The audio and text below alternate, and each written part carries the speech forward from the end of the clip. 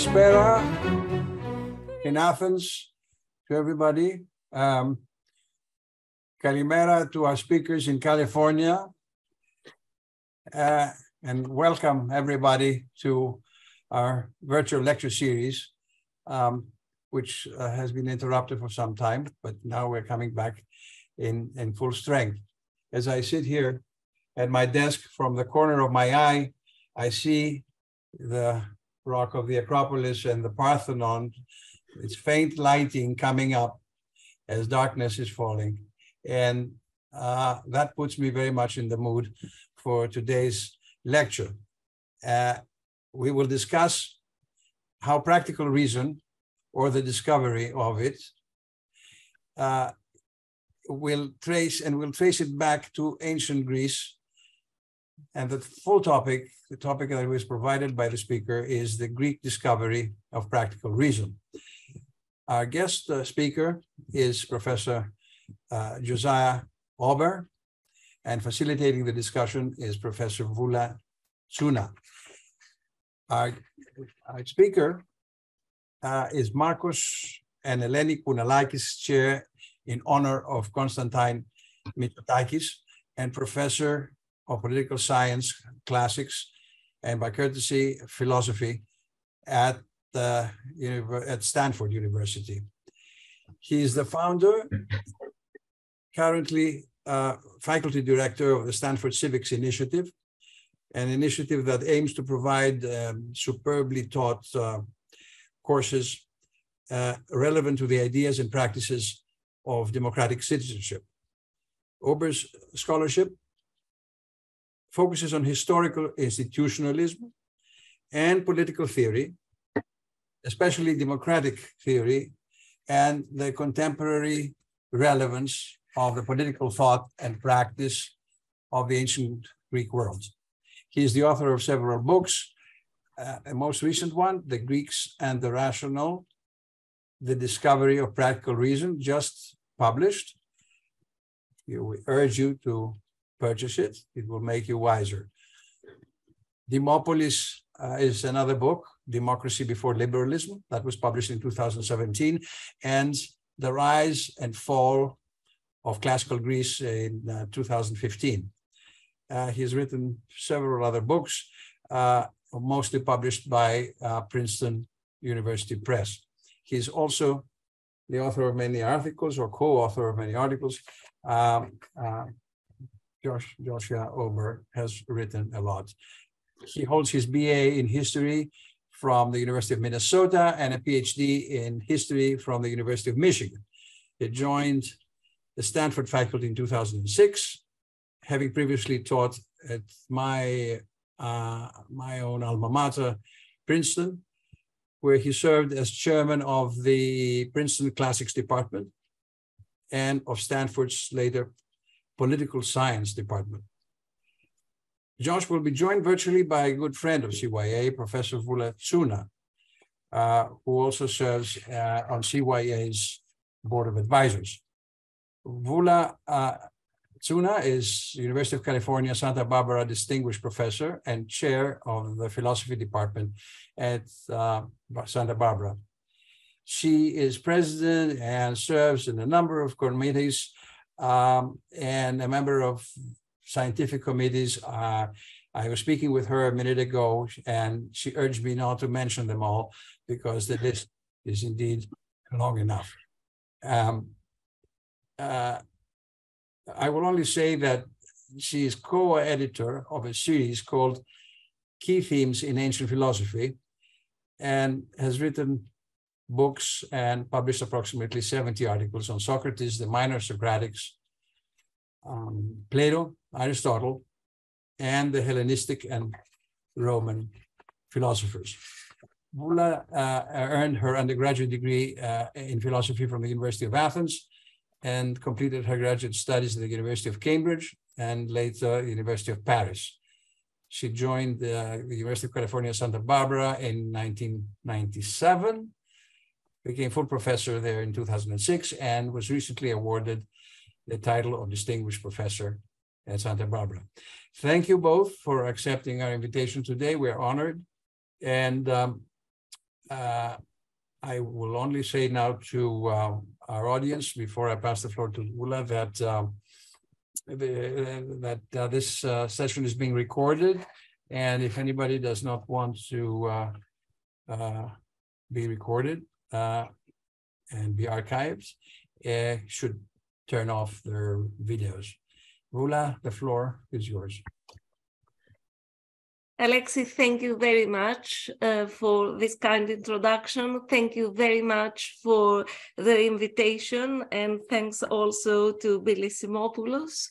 Uh, it is a, a, a, true privilege and a great pleasure uh, to serve as a discussant for the paper of Josiah Ober, a greatly valued colleague whose work I have followed and I have very much admired since my for a very long time. Um, before giving the floor to our speaker, uh, let me go over some administrative information. So through our discussion, uh, according to CYA House rules, um, you can submit your questions using the chat feature at the bottom of your Zoom screen. And uh, I shall be uh, happy to take questions, of course, in English, but also in Greek. I shall be very happy to translate if that is what you prefer.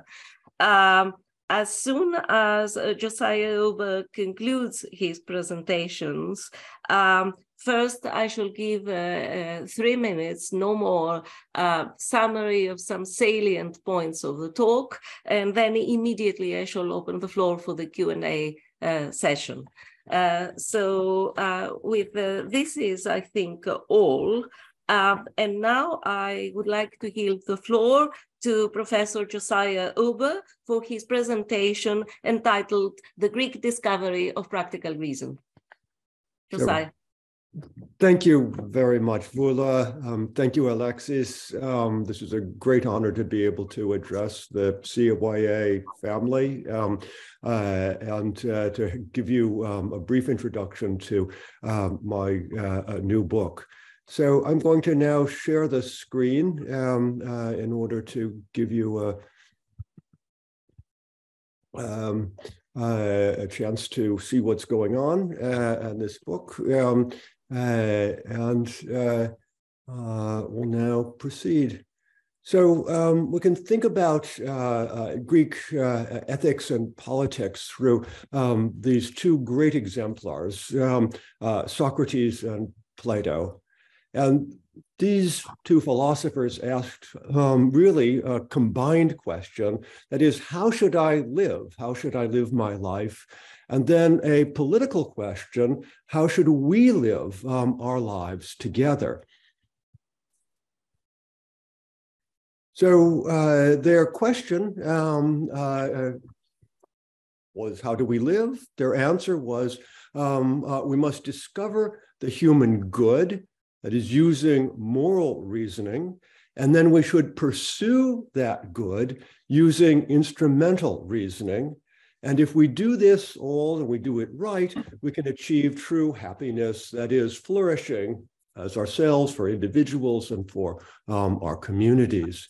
So today I'm only going to be talking about the middle term in this, um, the way in which um, it is possible to pursue the good using instrumental reasoning.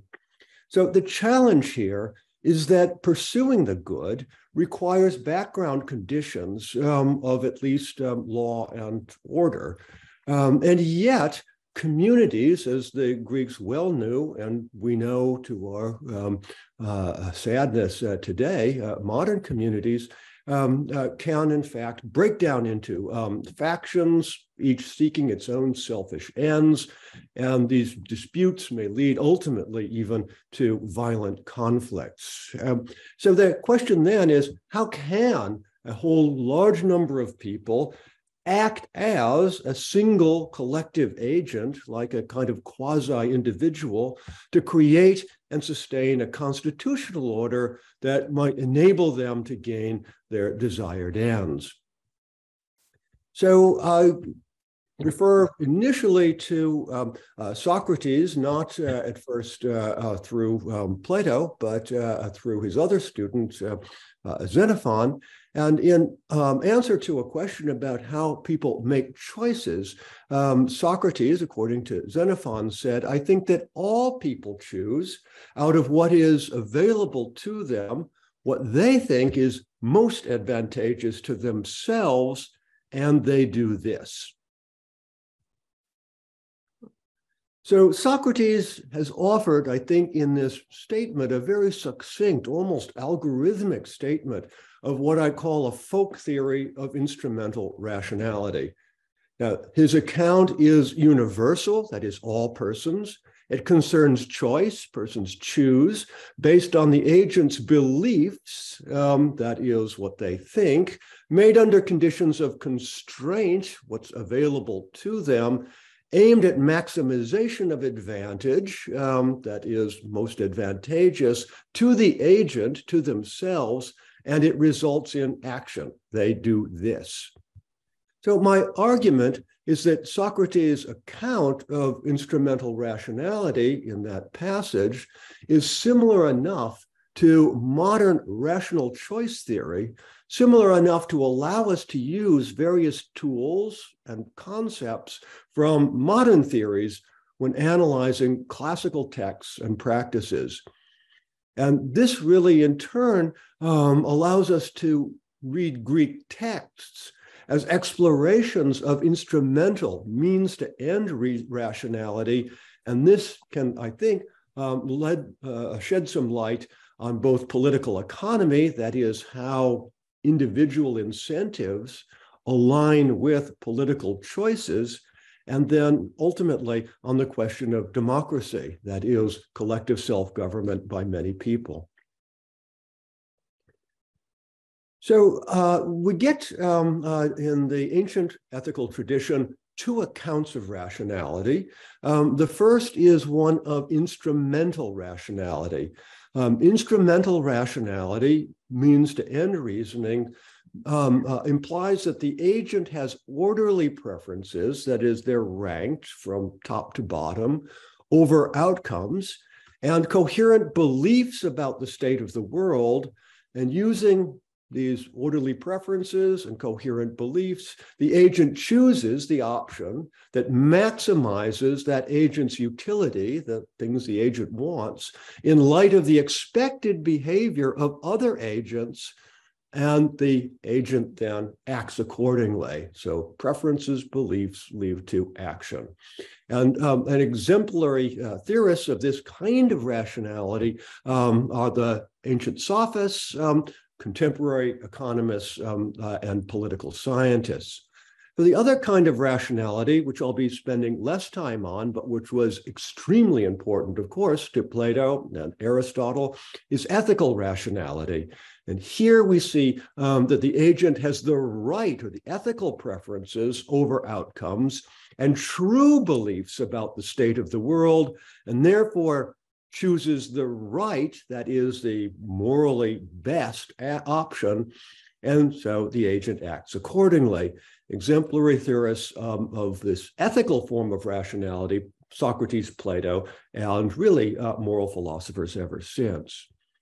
So Plato's claim in his great dialogue, The Republic, is that his ideal state, um, called Kallipolis, the beautiful, the beautiful city, is both instrumentally and ethically rational, but that Athens, the paradigmatic democratic city, is neither um, uh, instrumentally nor ethically rational.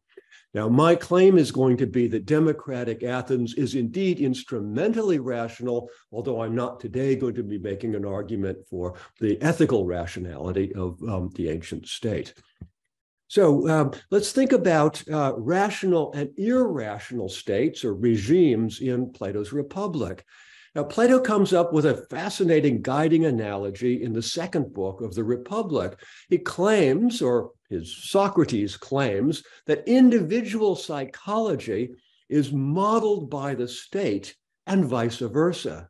so that the what he called the soul of the individual and the regime of the state are the same. So a democratic soul is um, a characteristic of the democratic state, for example. Um, his descriptive method um, in uh, Republic Book 8 um, is to um, give an account of the various regimes, um, starting with the very best one, Callipolis, the one he spent most of the dialogue describing, but then talks about a ranked series of less good regimes, um, each worse than the last. Um, uh, and these are modeled by the ends that would be sought by a typical ruler. So, because of this soul and regime analogy. So, the best, of course, uh, ruler is the philosopher king who seeks wisdom. Um, the next is the timocrat, um, uh, the honor seeker. Um, the third is the oligarch who seeks wealth. The fourth is the democrat who's concerned with freedom and equality. And the fifth, then, um, the very worst, um, is the tyrant. So, once again, this is a ranked list. And one question we can ask is why is democracy ranked so low? Well, I think that for Plato, the argument is because the democracy was irrational and irrational in this sort of formal sense. Um, uh, it was irrational, he says, because of the conjunction of freedom and equality um, in the way that the Democrat makes decisions. So, democratic irrationality then arises from the commitment of the model Democrat, the ruler of the democracy, and therefore the regime to both freedom and equality. Unlike honor for the Timocrat or wealth for the oligarch, freedom and equality are not taken by Plato's Democrat to be goods in themselves that might be maximized, um, and nor do they specify a desired outcome or end.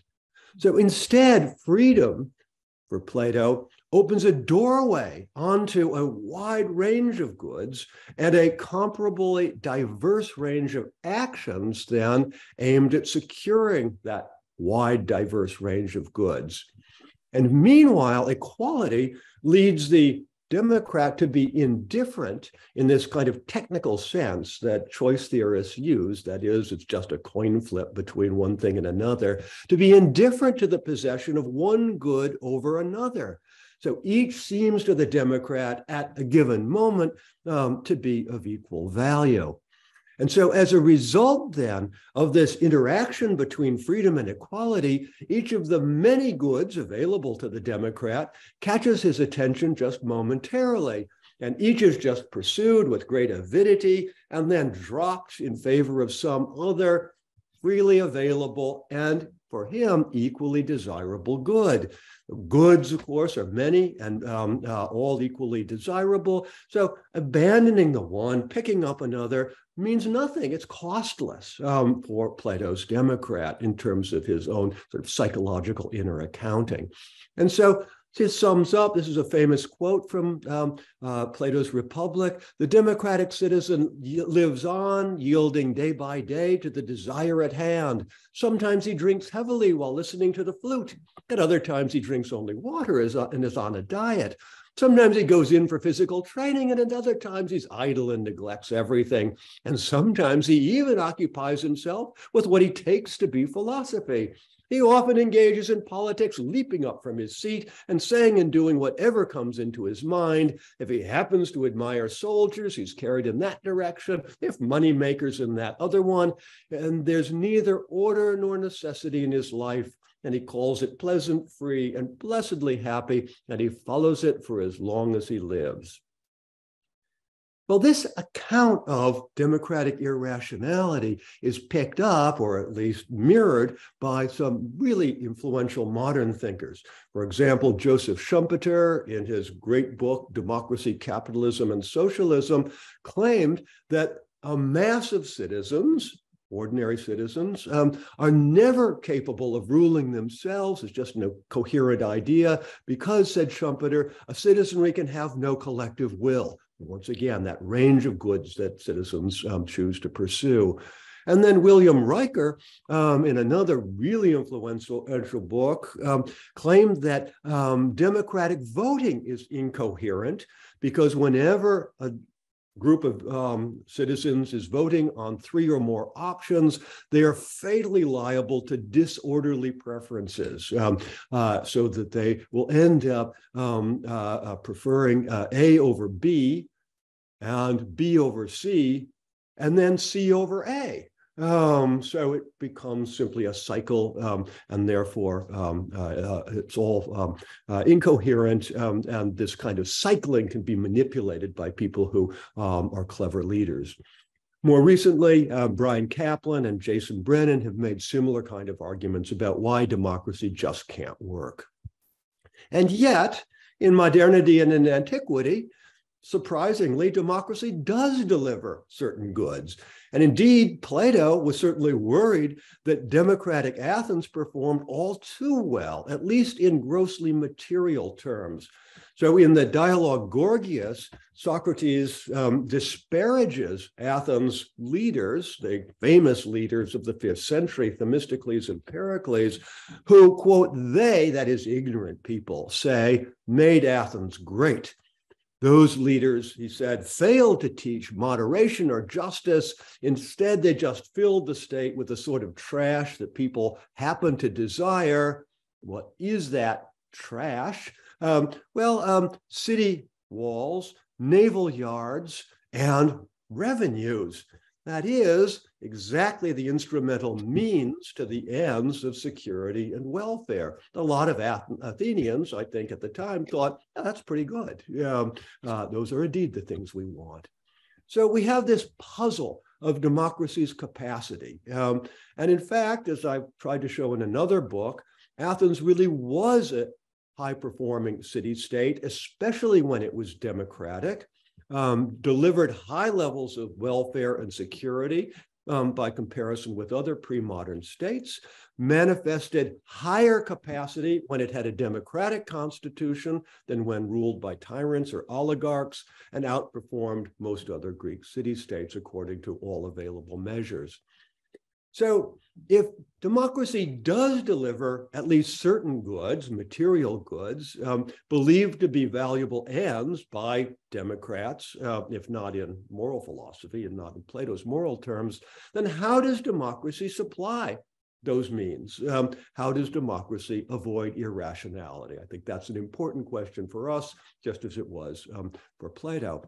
Well, uh, um, it certainly was a question for the Greeks, for ordinary Greeks. Um, uh, and uh, the ancient Greek answer is a constitutional bargain, resulting in dynamic institutions and a shared commitment to democratic norms. And so we have to ask how was that bargain struck? Well, it was struck um, through various um, constitutional um, uh, reforms, uh, a series of reforms um, uh, over um, a period of 180 uh, years. I don't have time to give an institutional history of Athens today. You're probably relieved to, to hear that. Um, but I think it's important for us to uh, recognize that that's the background. So the hypothesis then um, that I present is that democracy as the rule of the people provides the framework for the development of a rational state, rational in this means to end sense, um, capable of securing uh, security and welfare.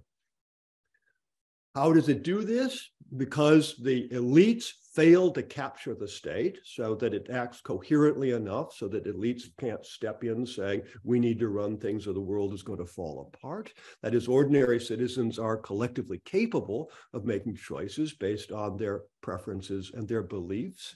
And um, Athens, in its democratic constitution, adapts to changed conditions with continuous experimentation, um, driving um, uh, innovation um, institutional innovation. And all of this is made possible by the co-evolution of institutions and norms. So the formal rules and then the background informal rules um, that govern how we're supposed to be doing things around here according to um, uh, what people think about one another. So um, to test that rational state hypothesis, um, uh, we need to think about preferences, beliefs, choice, and action. Once again, the formal um, definition of what instrumental rationality demands. So, how about rational preferences? The old oligarch, um, this wonderful, weird, short essay written sometime in the late fifth century BCE, and the, probably uh, right about the beginning of the Peloponnesian War. Um, the, uh, this anonymous uh, author, we just call him the old oligarch, um, uh, writes that democracy is morally reprehensible. It's the rule of the bad over the good um, uh, the many um, over the few. Um, and yet, he says, the point of this essay is to show his reader, assumed to be an oligarch like himself, how well Athens' many ordinary citizens do, in fact, manage affairs in their own self interest. Um, ordinary Athenians, he said, have rank ordered preferences, which prominently include not being enslaved, as they would be um, under an oligarchy, um, and living well from the distribution um, of uh, government offices by desert. Therefore, the elites actually um, uh, do a lot of the work and the uh, many um, uh, benefit. His point is then that Athenian masses do get what they prefer. Um, and why do they? The key factor is a persistent internal threat. That is the risk that the oligarchs, if they took over, if they were running things, would simply enslave the many.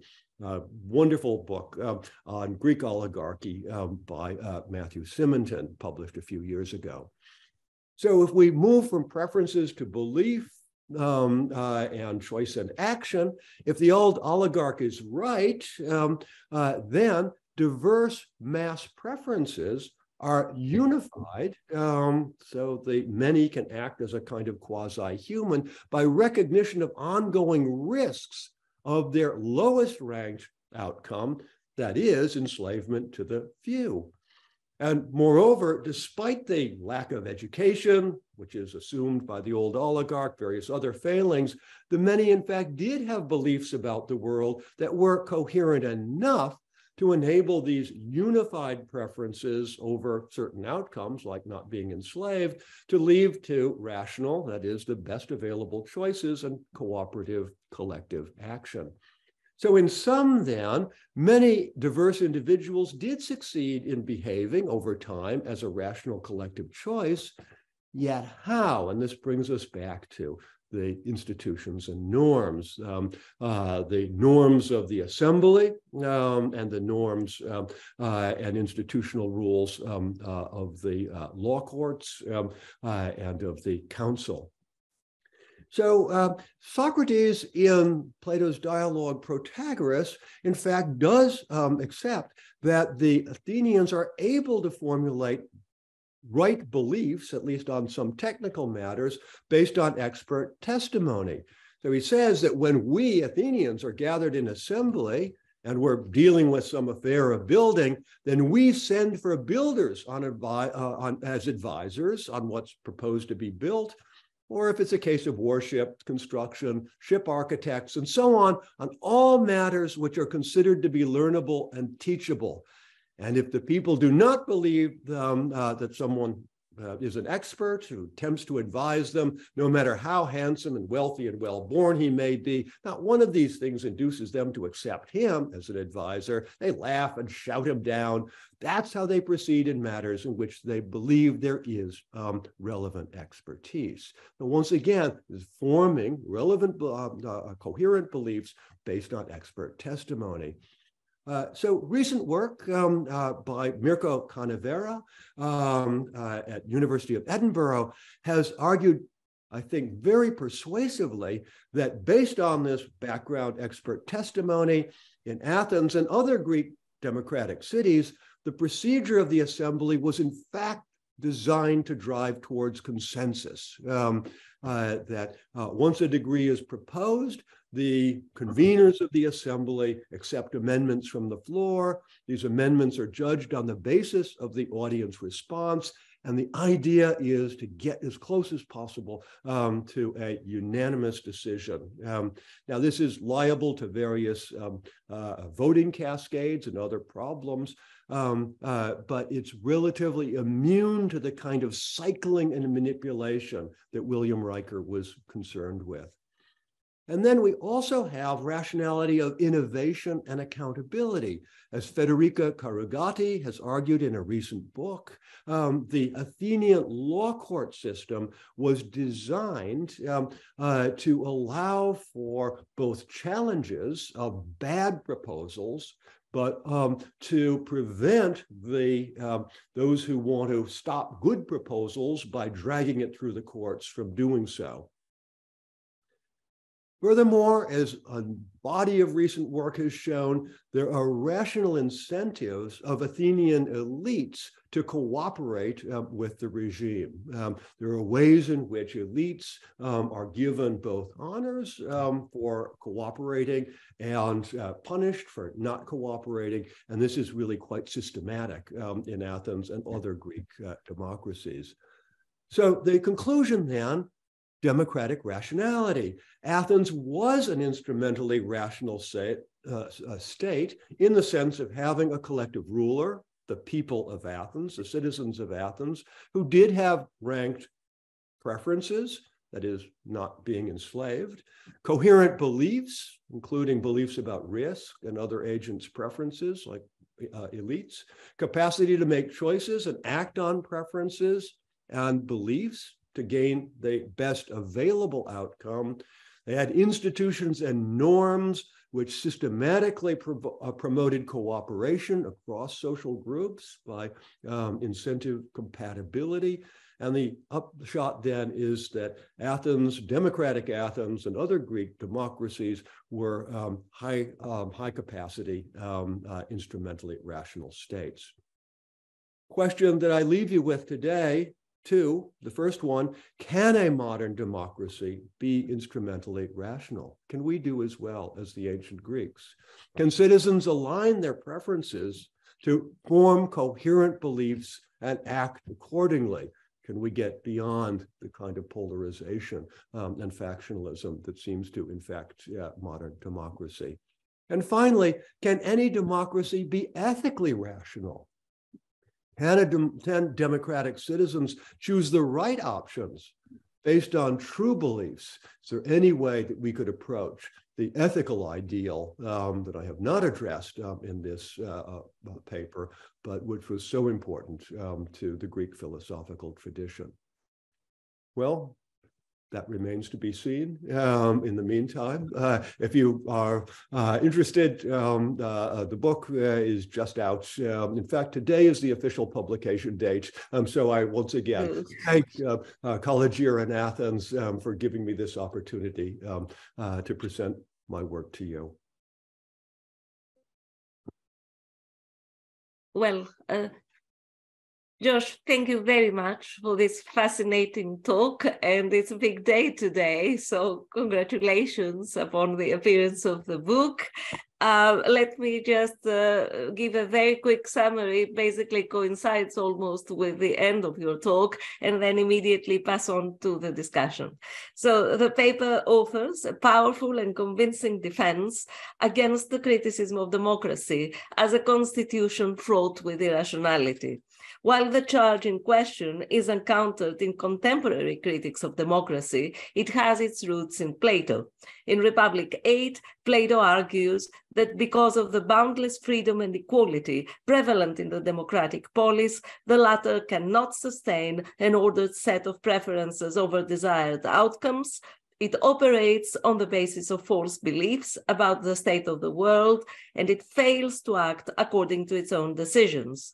Josiah Ober's profound and detailed analysis in his book demonstrates that, in fact, Athenian democracy did not suffer from these shortcomings. According to his argument, even conceding that fourth century Athens does not mean the does not meet the Platonic standard of ethical rationality entailing happiness, it does exhibit instrumental rationality in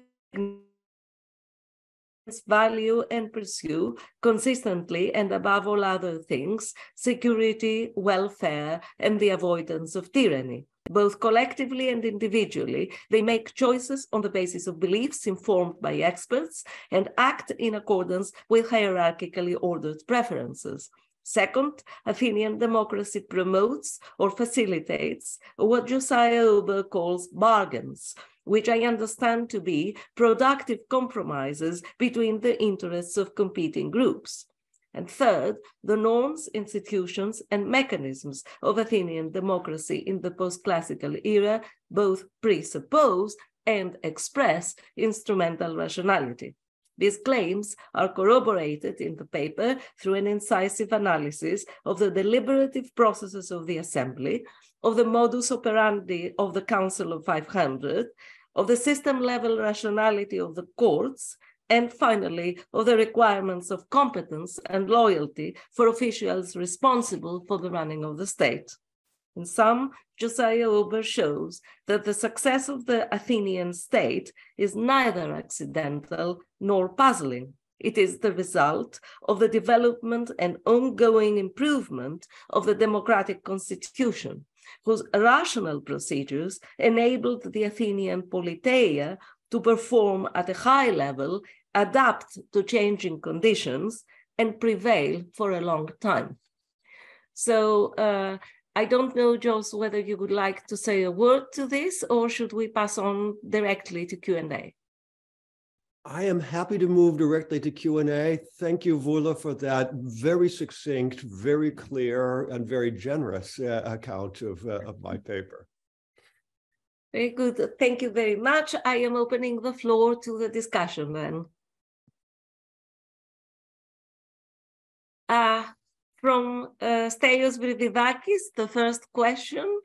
Uh, thank you so much for this fascinating talk, uh, says Stelios.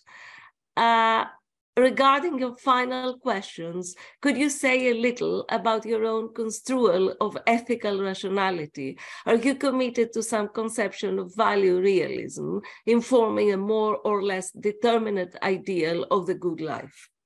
Good. Thank you very much. Uh, the, it's, a, it's, a, great question. Um, and I do try to address this um, in some detail um, uh, in the book. So the big difference between instrumental rationality and ethical rationality is that the um, ethical rationality assumes that there is um, an objective good or an objective end um, that a rational agent ought to be seeking. And so um, the ethically uh, rational agent is one who has rational desires not just rational means, um, but actually desires what the agent ought to desire according to some objective standard. Um, um, that, of course, is really is uh, is challenging because then what is that? Um, uh, and is that um, in any way compatible with a commitment to uh, pluralism, uh, a, a world in which people might have different ends that they seek? I think that um, one way to try to address this perhaps without going all the way to the kind of full objective uh, um, uh, objectivity of ends um, uh, that Plato and Aristotle were both um, in their own ways uh, committed to, um, is to say that at least um, a democratic society ought to have some ends um, that it can agree are not only instrument, you know, not only instrumentally valuable, not only um, uh, uh, uh, materially valuable, um, but there has to be some conception of democracy as a good in itself. Um, some good to what we do together as citizens, some good um, that we gain by being participants in a common enterprise um, of governing ourselves um, uh, without a master. I think if we give up on the idea that democracy is, in some sense, a good in itself, um, then it becomes very hard um, uh, for us to um, uh, have uh, really a, a democracy that works. So I tend to think that democracy actually needs at least a very thin version of the kind of rich form of ethical um, uh, rationality that was um, asked for, for by Plato and Aristotle. I think if we um, thin it down to the point in which we share nothing in common, in which we see no intrinsic value to what we're doing together as citizens, um, then we're in trouble. Um, so I think that is what really I would call for um, the citizens of a democratic society, whether it be Greece or, or America, um, uh, to recommit to um, is to uh, find a way um, uh, that we can, as citizens, recognize the value of being citizens as opposed to subjects um, of a master. Mm-hmm. Thank you, Josiah. The next question is from uh, Nanno Marinatos. Uh, let me just uh, see it here. Thank you, Josiah. This is from Nanno Marinatos. Mm-hmm. Athenian democracy had one major failure. The crowds were driven by emotion, anger, or delusion. But you're right that the institutions were rational.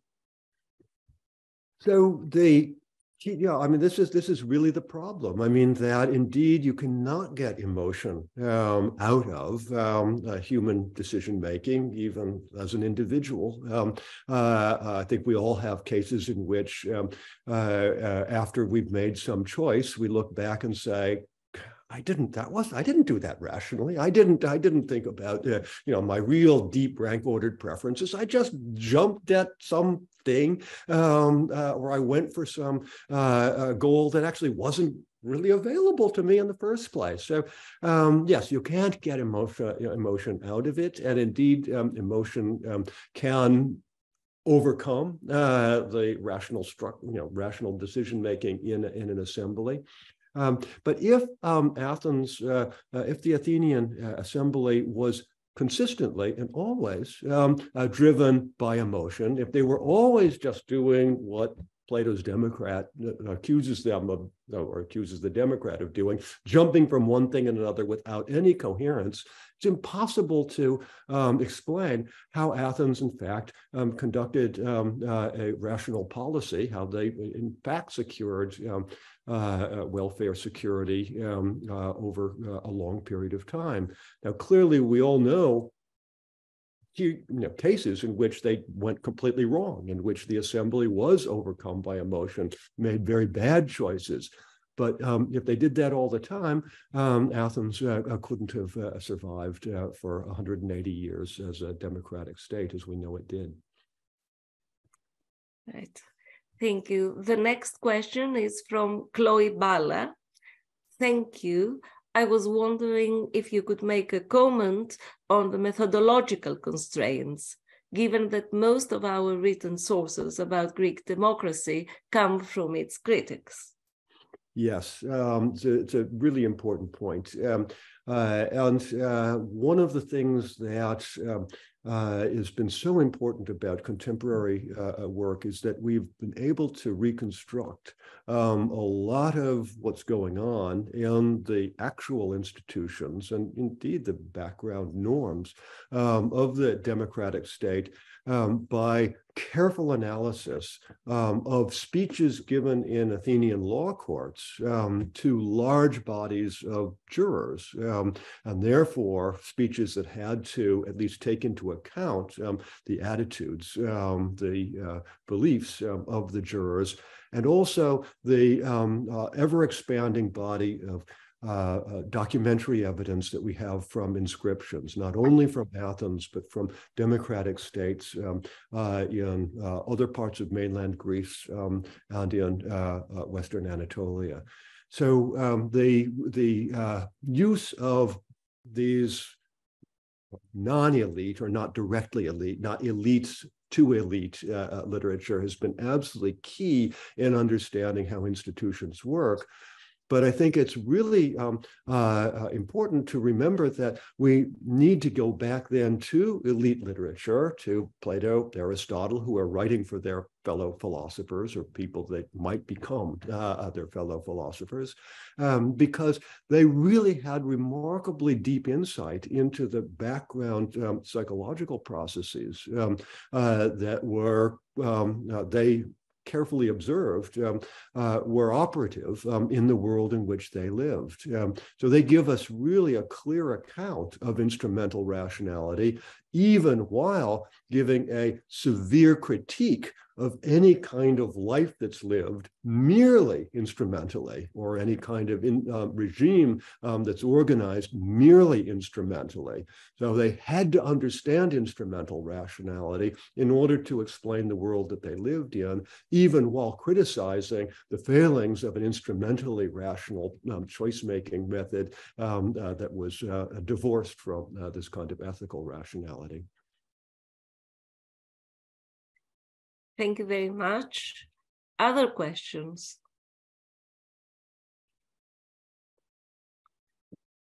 Uh, perhaps I may please ask a question, Josh? Certainly. Um, I mean, I was wondering what's, what exactly is the role of freedom in the Platonic critique? Mm -hmm. Is it, uh, you take it, I think you take it to be the case you take the critique to be freedom isn't treated as an unconditional good. Mm-hmm. And that is why, and the door is open to all sorts of goods. Mm-hmm. Hence, no hierarchization, um, no preference, no orderly preferences, no true beliefs, mm-hmm. no uh, subsequent action. Mm-hmm. But mm-hmm. I wonder, I, Another way, perhaps, that one could see it is that the, the, the, the Democrats, democracy takes unrestrained freedom to be an unconditional good, in fact, the only unconditional good. And because of the nature of that good, the door is left open to all sorts of other goods to come in in a humdrum fashion and the inability to to put them into some sort of order and hierarchy. Yeah. Yeah. No this is a it's a, great question. Um, and uh, uh, this i think is one of the really difficult questions that we can we can pose of um, uh, plato's uh, uh, ideas about about freedom.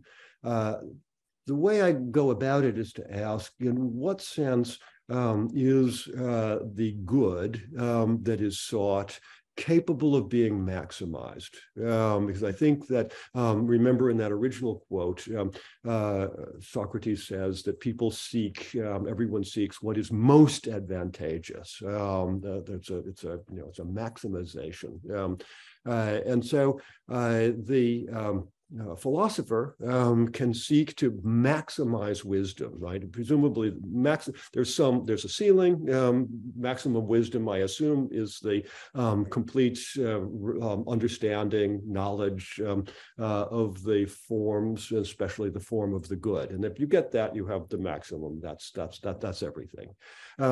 But then uh, we take uh, then the next down, um, the honor lover um, uh, seeks honors, seeks victory.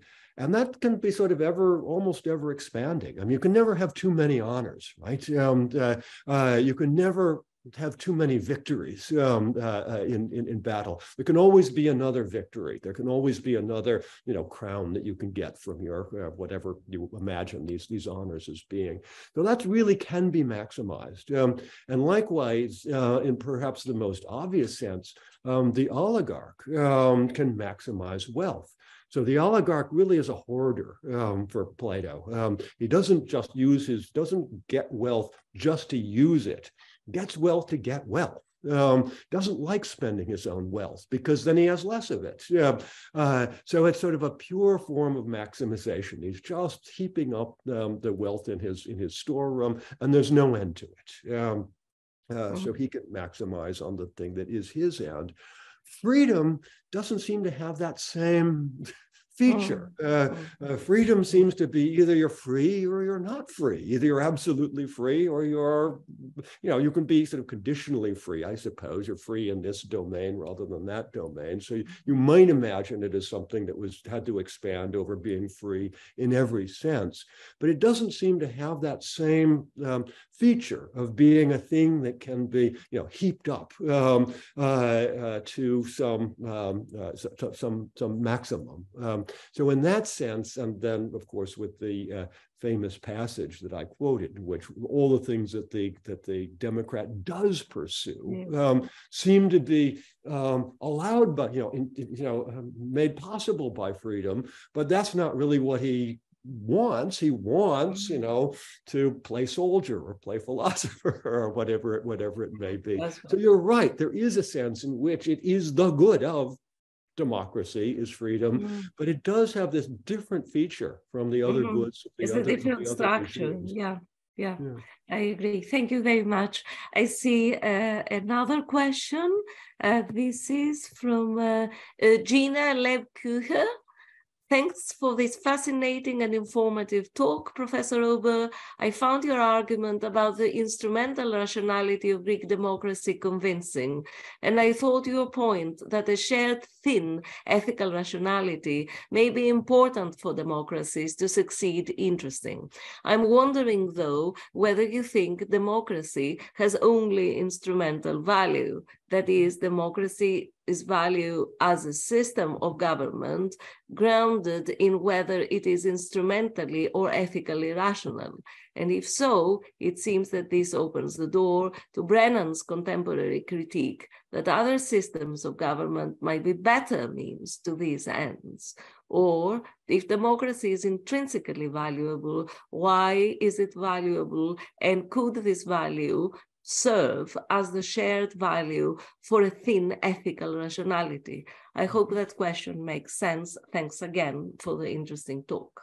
It makes lots of sense. Thank you. Um, uh, and um, to answer this fully, I need to talk at greater length than I will today, but uh, uh, uh let me uh, start. So here I'm going to say that the person I think, the, the, the, thinker I think has the best answer for us on this is Aristotle. Um, uh, that Aristotle says famously that we are political animals. Um, uh, and he unpacks that in various ways. Um, we're animals who must live in a community and should live in a coherent community.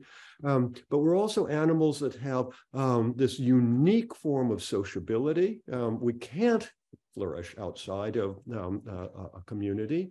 Um, and we have these other two features um, that other animals don't have. Um, uh, one is the capacity to reason.